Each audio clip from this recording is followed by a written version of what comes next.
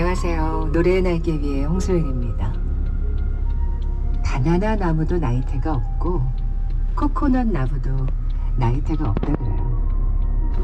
나이테는 겨울을 재촉하는 비도 맞아보고 흩날리는 눈발도 맞아본 나무들에게만 생깁니다.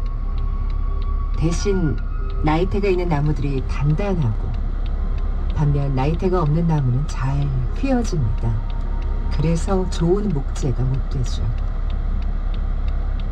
겨울을 겪고 나이테를 얻을 것인가? 겨울을 겪지 않고 나이테도 얻지 않을 것인가? 내가 나무라면 어떤 선택을 할까?